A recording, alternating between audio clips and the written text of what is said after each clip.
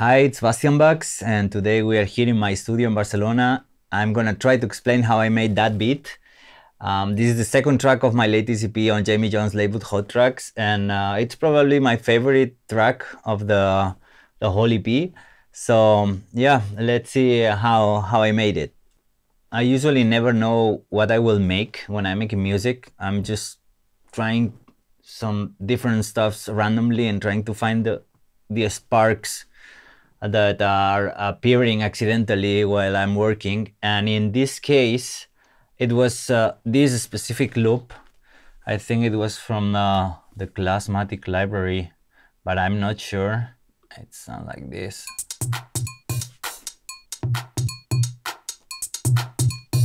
Nothing special, but I liked um, the cowbell so much and also this kind of low perks. But um, one thing I learned after all these many years making music is that the, one of the most important decisions that you can make if you want a clean mix and a powerful master is um, try to be super super strict with the quality of your samples and um, the sounds that you are using. So when I found this loop, I knew that the groove was good, that there was this cowbell it was so interesting, but I needed to clean it. So the first thing I made was to clean it. I separated the, the perks, the low perks that you can find um, in this channel. You can see the difference from the original one. Yeah, I detune it and um, I clean it a little bit. Um, I use a lot this plugin. It's um, called Shifter. You can find it here on uh, modulation, this one. Um, it makes interesting, weird effects. You will, uh, I will show it later. Um, and then here we have some EQ, nothing special. And um, Shaper box um, that it's uh, doing a bit of work on the on the panning on the sides. Um, if you don't use Shaperbox, I, I strongly recommend it. It's crazy. It's having like different modules, um, time based, so you can control the filter, and it's so visual. You can control the pan, the width of the sound, and also the volume. So you can uh, do your sidechain with this. Super, super useful, super creative. Um, so yeah, when I cleaned this uh, these perks, then I had the cowbell that was my favorite part. So I just separated it and um, I had it here. It was just, if you, you see, I detuned it, I cleaned it, and um, I also applied this chain what I'm doing here is basically work on the stereo. And then this plugin from Waves, really, really useful.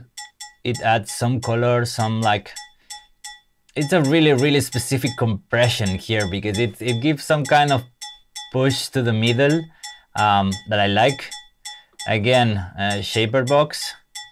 In this case, using the compressor, it's also having a compressor is an amazing plugin. To be honest, with years, um, I'm using less and less plugins. I remember when I was starting making music, I was using plenty of plugins and now I'm just selecting these few ones that I really, really use and I try to master them. I try to know how to use them like perfect, you know, and um, with time, I found out that it's better to know how to use one tool for many, many, many things than having like 1 million tools that you don't barely know for what you have them. So yeah, Shaperbox is one of them. When I had this, like this group from here,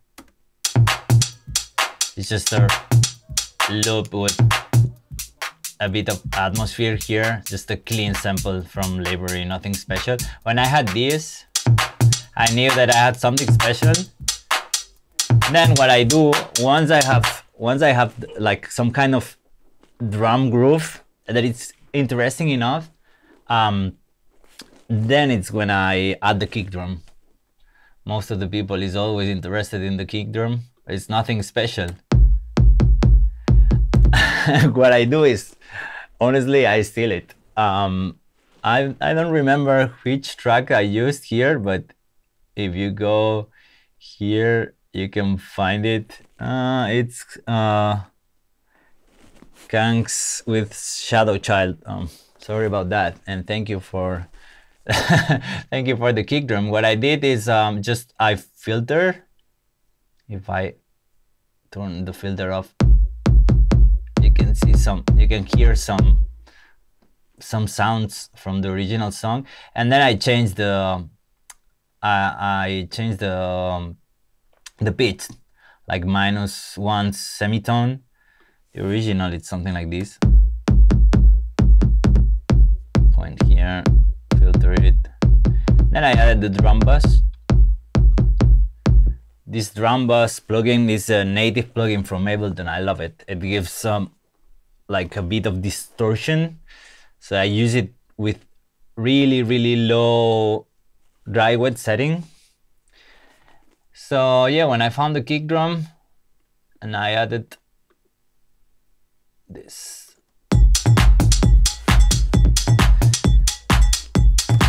When I have this groove, I know that I'm into something. I know I can play. It's this kind of groove that you can play for 10 minutes, you know, and uh, the dance floor will move. So um, then it's all about to find a nice uh, bass line and um, some vocals and samples that will create the hook of the whole track. But I strongly I strongly believe that the the most important part of a song is its groove, at least for house music, and this is what I make. So um, I was listening to the groove over and over,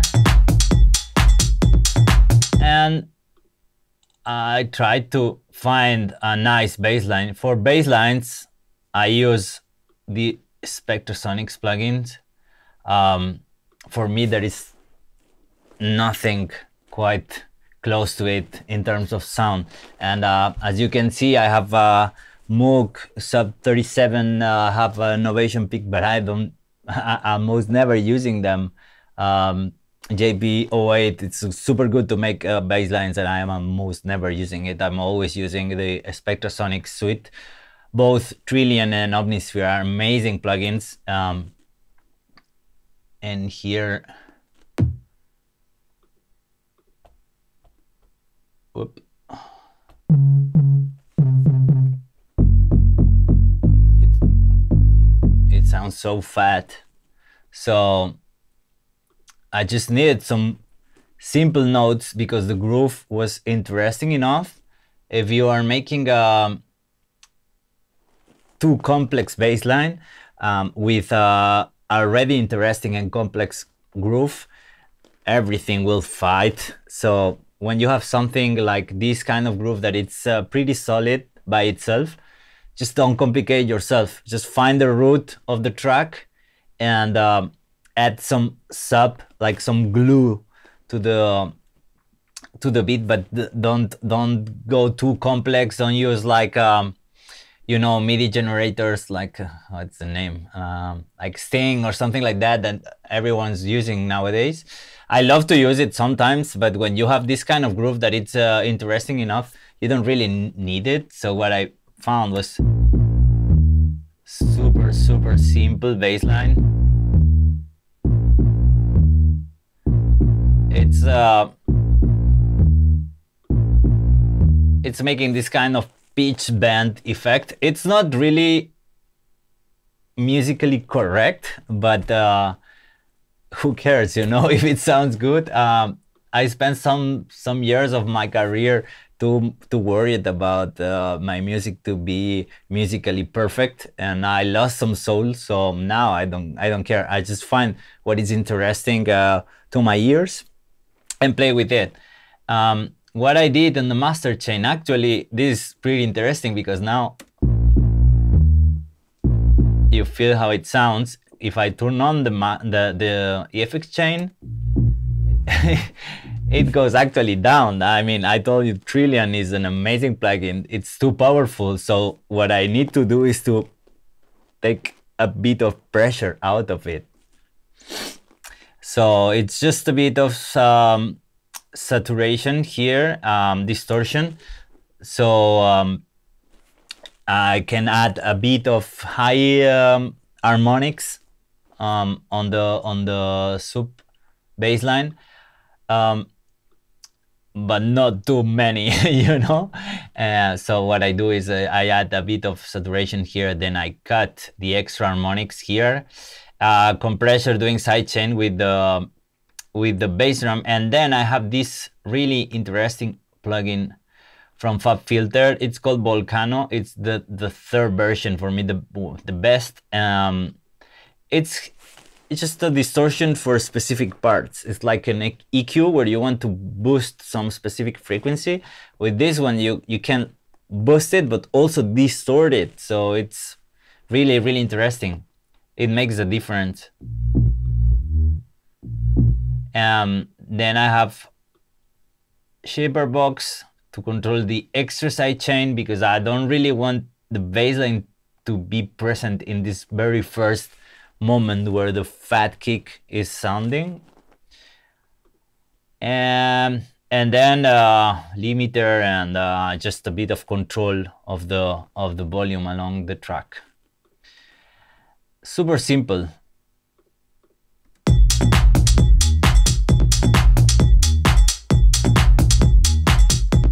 Then I found these perks here.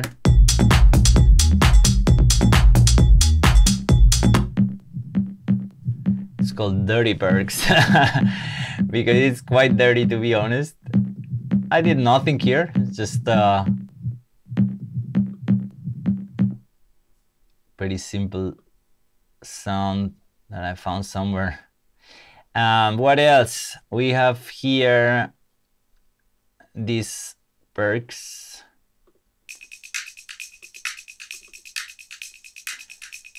Just a bit of EQ here and uh, I use a lot the utility, as you can see, I use a lot of native plugins. Um, I don't complicate myself anymore. And I use utility to open the stereo image of the sound. Uh, it makes a difference. Like this too narrow. If here it goes like, it only works when, when again, when the sound source is good enough. If you don't have stereo information, this is not gonna do nothing. But the original sample was having enough stereo information in there. You just need to boost it. What else? Uh, this is only giving some color. Um, then what I love, once I have like the core uh, of the track, um, then I don't like to add too many stuffs because if the information that you are having there is solid enough, you don't want to complicate yourself too much. Just add what it really needs because sometimes uh, we are like crazy about adding layers and layers and layers. But then when you mute them, you try to mute them and you don't feel the difference, especially when you listen to them in your car or, uh, or on, on the iPhone. Um, like not the best sound systems, you know, you are here in, in the studio and uh, you feel every detail, but most of the times people will listen to your track in, in, in more simple sound systems. They will not tell the difference. So just get rid of, of all the known and known essential information, you know, just um, focus on the solid core of the track and just add some bits of really interesting stuff. If it's not interesting, just get rid of it.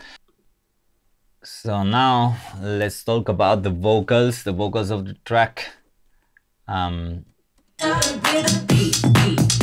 I found this sample, um, it was there already. I mean, when I found it, um, I knew it was interesting enough.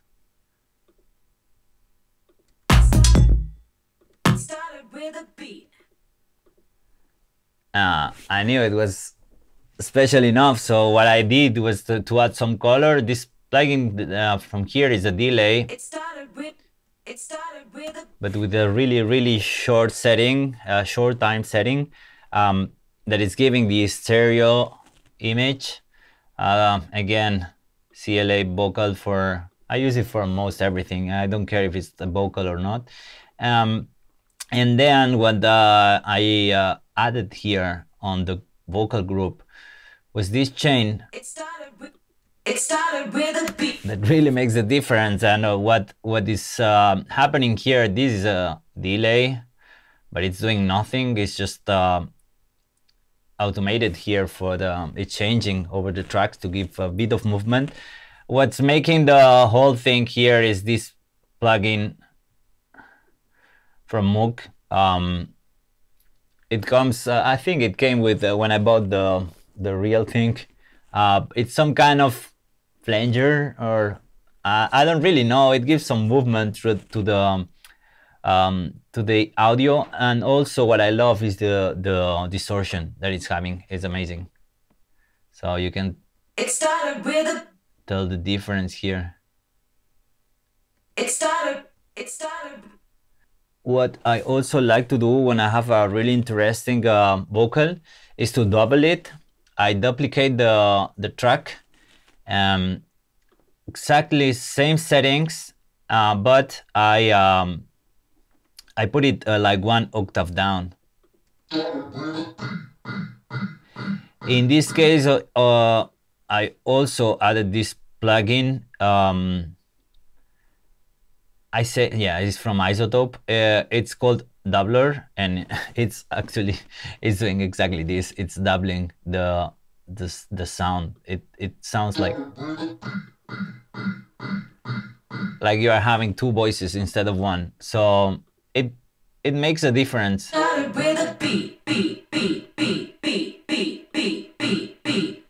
Gives more body to the sound. Um, it sounds more interesting and especially uh, when you are playing them uh, on a big sound system it makes a big difference. Uh, otherwise vocals can get a bit lost in the mix. What else? I have this this track from here. Is just uh, you know i love to sample other tracks i have to be honest. Um, and um, i'm not uh, shy about it. I don't feel shy about it. Um, and what I do is just I just chop random sounds from tracks that I like and I tune them to match the the key of my track and just place them randomly to make some kind of interesting sounds. In this case, for example, the most interesting one I found was this one. It's just uh, some kind of weird vocal prosthetic. I, I don't even know what I did with this one. I just put some weird effects in, on on it. I resample it, and in the end, I just come with a extra layer of something interesting. And when you put it alongside the vocals, it you get this interesting effect.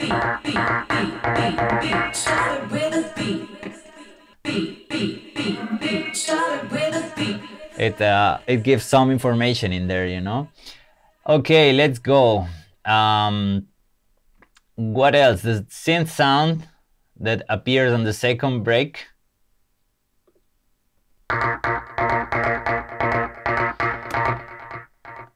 Everything comes from this sample. I turn off the effect chain.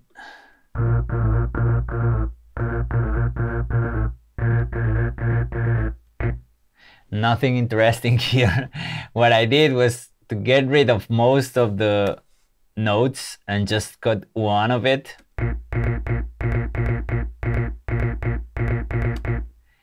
And um, I just, again, auto filter always, um, well, at most, always using uh, native uh, Ableton plugins. In this case, uh, this auto filter, let me turn it on one my one.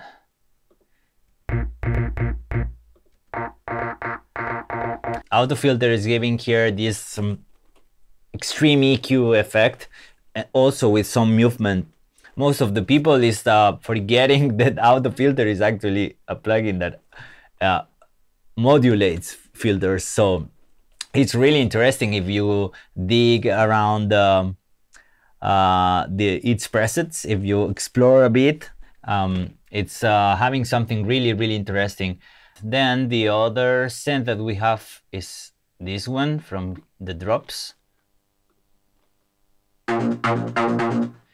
In this case, the sound was already there. Um, I think that the only thing that I did with this one was to clean the last bit of the sound. Oh no, look at that. There was more information in there. Huh. We don't need all this. so I just made this. Again, my friend CLA, give some color, some EQ here, Volcano three. I was not lying. I was always, I'm always using the same, always, over and over. Just keep it simple. That's my life motto. And um, yeah, from here you just have the classic uplifter effects, snares, silent sound, more snares, risers. Then you have this um, like kick drum doing this uh, effect, this rise effect. I always use the Roland TR8S for this. Um, honestly, I love this machine, but I only use it to uh, create build-ups. Like if I do it like now, I'm always having like it set for the build-up moment, you know, it's like a complex RMX 1000. Um, I also love it to um, find the hi-hats and stuff like that that I haven't shown it because uh, you know it's a classic layer. Uh, it's really interesting.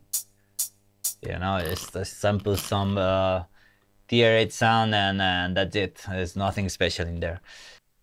And that's pretty much it. Uh, as I said my way of working is really really simple. Um, I hope you found some interesting bits of information and inspiration in this video and if you haven't yet, go buy my EP on Hottrax because um, I think it's a good one. Thank you for joining me.